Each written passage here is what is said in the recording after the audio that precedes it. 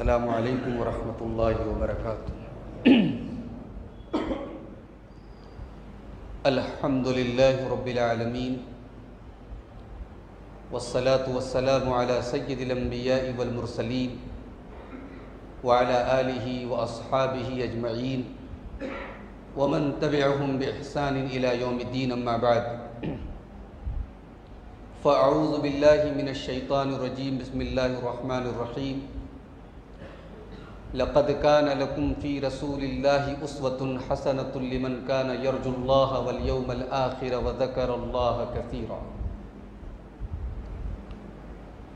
मुअज़्ज़ज़ उलमाए मोहतरम बुज़ुर्गों नौजवान साथियों प्यारे बच्चों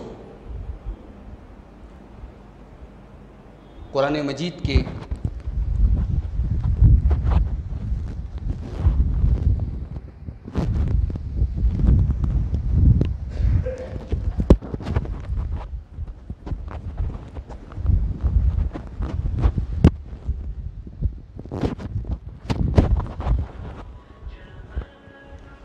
कुरान मजीद के इक्कीसवें पारे की सूरतुल अहज़ाब की आयत नंबर 21 आपके सामने तिलावत की गई।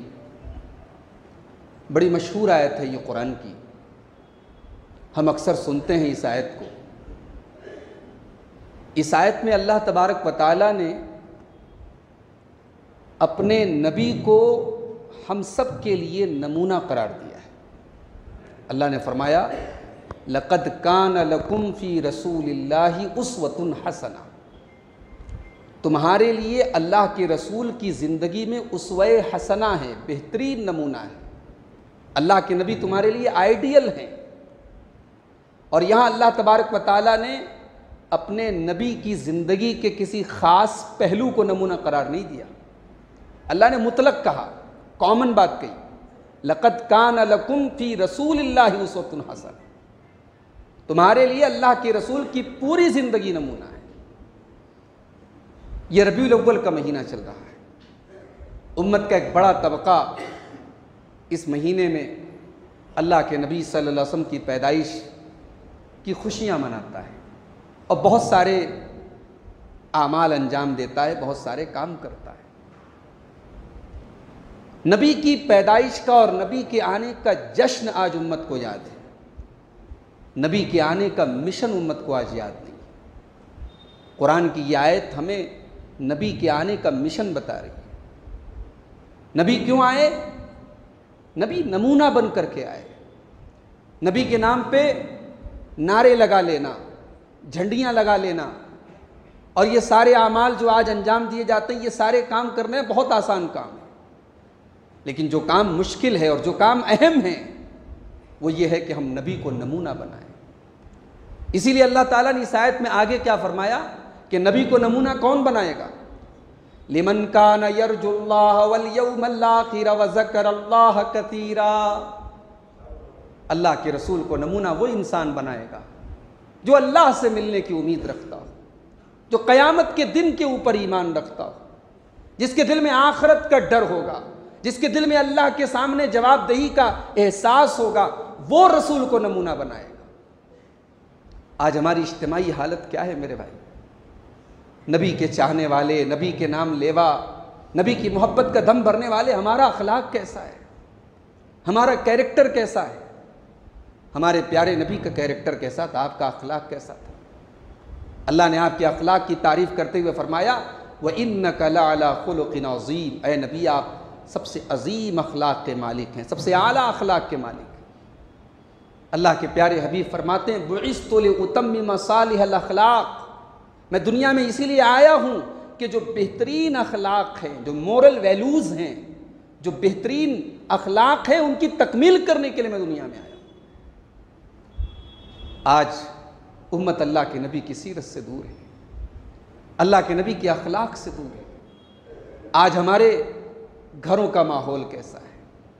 एक बाप की हैसियत से हम कैसे हैं? एक शौहर की हैसियत से हम कैसे हैं? एक पड़ोसी की हैसियत से हम कैसे हैं? अल्लाह के नबी की सीरत का आप मुताला करें।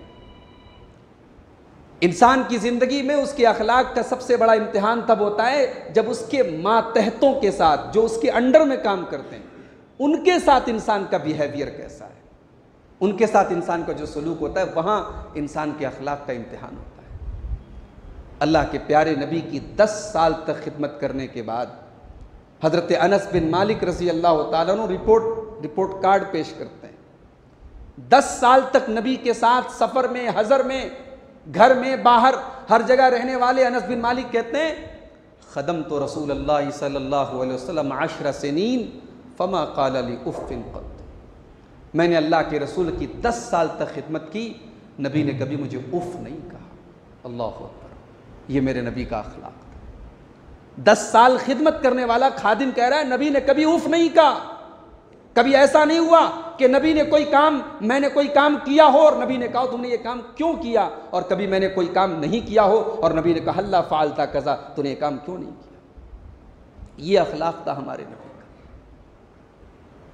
बसा अवकात ऐसा होता है कि इंसान बाहर वालों के लिए बहुत अच्छा है।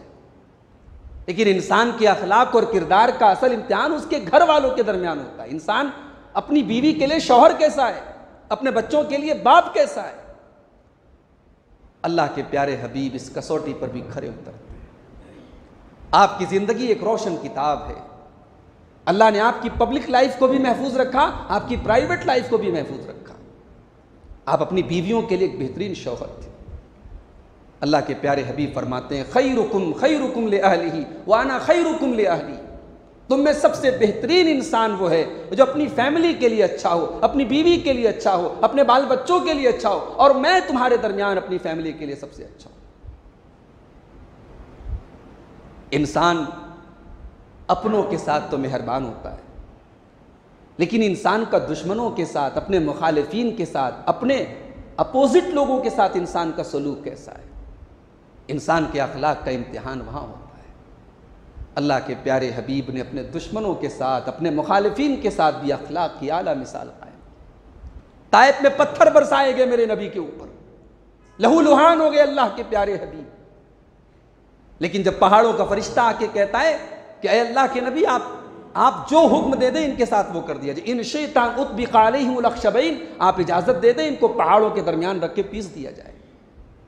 मगर वो नबी, वो रहमत कायनात, वो रहमतुल्लामीन जवाब देते हैं बल अर्जू अयुखरजल्लामिनसलाबहिम मैयाबुल्ला शरीक अला ये ईमान नहीं लाते, कोई बात नहीं।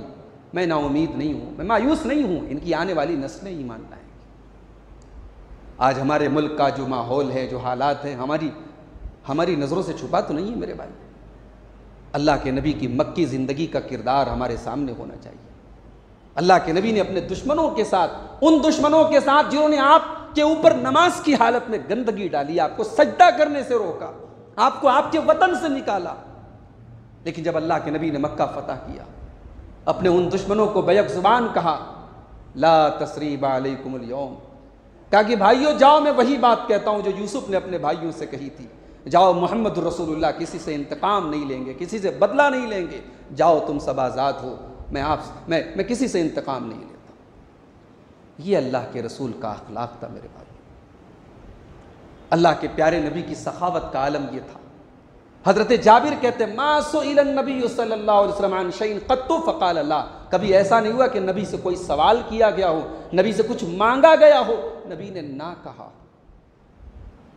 शजात और बहादुरी का यह आलम था कि जंग के मैदान में जब लोग मैदान छोड़ के भागने लगते थे। मोहम्मद रसूलुल्लाह मैदान जंग के बीच में खड़े रहते थे और कहते थे, आनंद नबी कजिब अरे अब अब्दुल मुत्तलिब।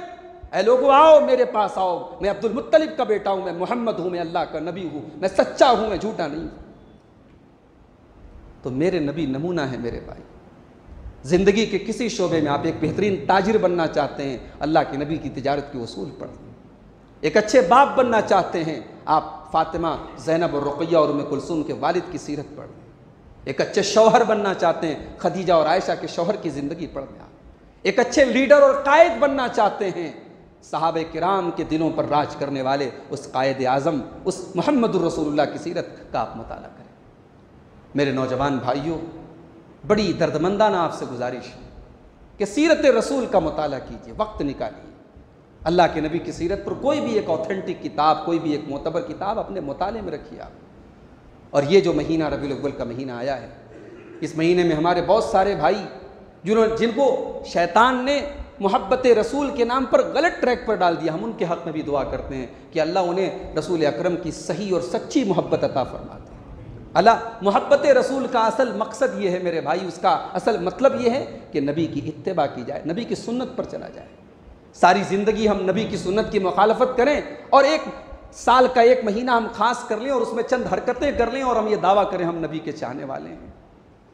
लऊका नहब्बु का सादिकन ला अरबी का एक शायर कहता है कि अगर तुम अपनी मोहब्बत में सच्चे हो तो अपने महबूब की इतात करोगे। इन्नल मुहिब्बल मन युहिब्बु मुतीऊ मोहब्बत करने वाला अपने महबूब की इतात करता है। तो नबी की मोहब्बत का भी असल तकाजा ये है कि हम नबी की पैरवी करें, नबी की सुन्नतों की इतबा करें। अल्लाह तबारक व ताली से दुआ है रबालमीन हमें मोहब्बत रसूल के तकाज़ों को समझने की तोफ़ी अता फ़रमाए। रबालमीन हमें अपने नबी की जो सही अज़मत और सही जो शान है, उसको भी हमेशा समझने की और उसकी रोशनी में अल्लाह के नबी सल्लल्लाहु अलैहि वसल्लम की सीरत को पढ़ने की हम सबको तोफ़ी अता फ़रमाए। रब्बुल हमें अपने नबी को उस हसना बनाने की तोफ़ी अता फ़रमाए। हम में से जो बीमार है, अल्लाह उनको शफा कामिल अजिल अता फ़रमाए। जो रोज़ी रोटी से परेशान है, अल्लाह उनके कारोबार में बरकत नसीब फ़रमाए। अल्लाह हमारे मुल्क की, हमारे शहर की, हमारे इलाके की हिफाजत फ़रमाए। अल्लाह हर शर से हम सबको महफूज रखे। और मैं आखिर में शुक्रगुज़ार हूँ इस मरकज़ी चार मीनार मस्जिद के तमाम ज़िम्मेदारों का और यहाँ की सूबाई जमीयत और मकामी जमीयत के ज़िम्मेदारों का भी कि आपने ये मौका मुझे इनायत फरमाया। अल्लाह ताला जमात के इन कामों में मज़ीद बरकत अता फ़रमाए और अल्लाह हम सबको अपने दिन की खिदमत करने की तोफ़ी अता फ़रमाए। आमीन। व आखिर दावाना अलहमदिल्ला रबालमी